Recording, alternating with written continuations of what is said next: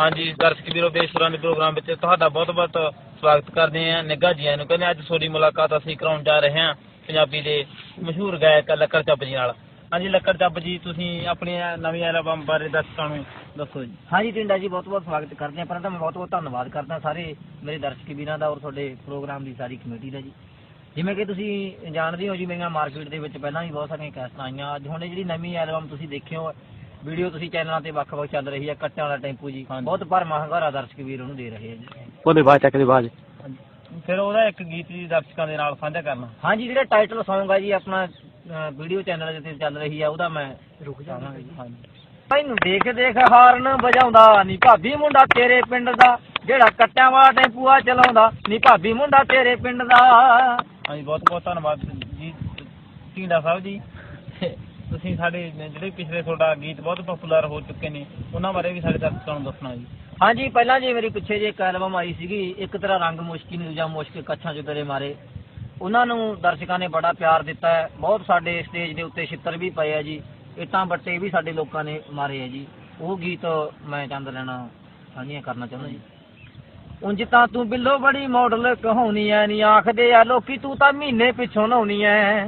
ਨੀ ਦੇਖ ਕਿਵੇਂ ਬੁਰਾ ਹਾਲ ਤੇਰੇ ਖਿੰਡੇ ਪਿਆ ਬਾਲ ਕਿਵੇਂ ਲੱਗਦੇ ਆ ਬੁਰੇ ਬਿੱਲੋ ਸਾਰੇ ਨੀ ਇੱਕ ਤੇਰਾ ਰੰਗ ਮੁਸ਼ਕੀ। ਦੂਜਾ ਮੁਸ਼ਕ ਕੱਛਾਂ ਚੋਂ ਤੇਰੇ ਮਾਰੇ ਨੀ ਇੱਕ ਤੇਰਾ ਰੰਗ ਮੁਸ਼ਕੀ। ਹਾਂਜੀ ਲੱਕੜ ਦਾ ਵੀ ਸਾਨੂੰ ਸਾਡੇ ਦਰਸ਼ਕਾਂ ਨੂੰ ਤੁਸੀਂ ਆਪਣੇ ਗਾਇਕੀ ਦੇ ਸਫ਼ਰ ਬਾਰੇ ਦੱਸੋ ਵੀ ਇਹ ਗਾਇਕੀ ਦਾ ਸਫ਼ਰ ਤੁਸੀਂ ਕਿੱਥੋਂ ਸਟਾਰਟ ਕੀਤਾ ਜੀ?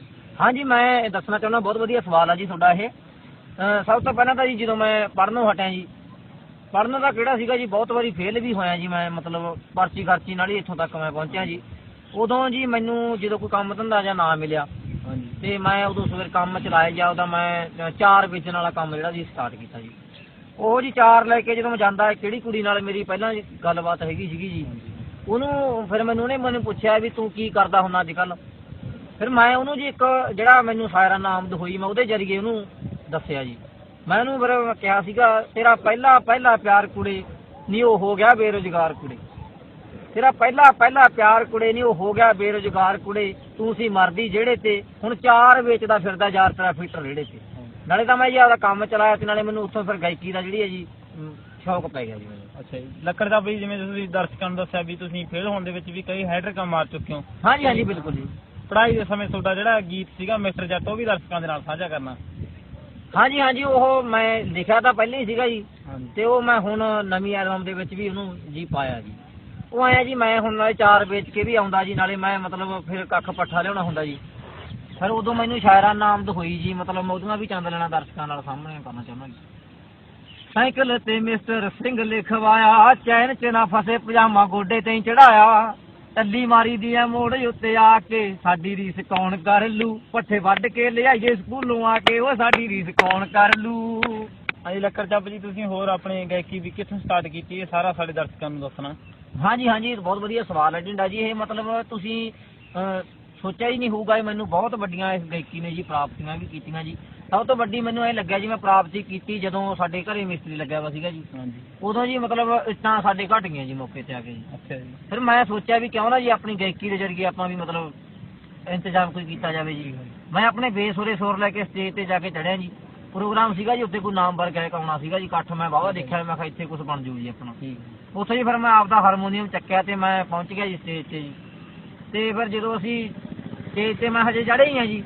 ਜਦੋਂ ਲੋਕਾਂ ਨੇ ਮੈਨੂੰ ਦੇਖਿਆ ਜੀ ਲੋਕਾਂ ਨੇ ਜੀ ਇੱਟਾਂ ਚਲਾਉਣੀਆਂ ਜੀ ਰੋੜੇ ਚਲਾਉਣੇ ਸ਼ੁਰੂ ਕਰਤੇ ਜੀ। ਤੁਹਾਡੇ ਕਨੇ? ਹਾਂਜੀ ਮੇਰੇ ਕਨੀ ਜੀ। ਮੈਂ ਤਾਂ ਉਹੀ ਚਾਹੁੰਦਾ ਸੀਗਾ ਜੀ। ਤੇ ਮੈਂ ਮਤਲਬ ਉੱਥੇ ਫਿਰ ਮੈਨੂੰ ਇੱਕ ਸ਼ਾਇਰਾਂ ਨਾਮਦ ਹੋਈ ਜੀ। ਜਦੋਂ ਚੜ੍ਹ ਕੇ ਸਟੇਜ ਉੱਤੇ ਵੱਲ ਗਏ ਲੋਕਾਂ ਨੇ ਸੀ ਸਾਨੂੰ ਢਾਹ ਲਿਆ। ਜਿਹੜੇ ਇੱਟਾਂ ਵੱਟੇ ਵੱਜੇ ਸਾਡੇ ਸਟੇਜ ਤੇ ਨਹੀਂ ਉਹਨਾਂ ਨਾਲ ਹੀ ਘਰ ਪਾ ਲਿਆ।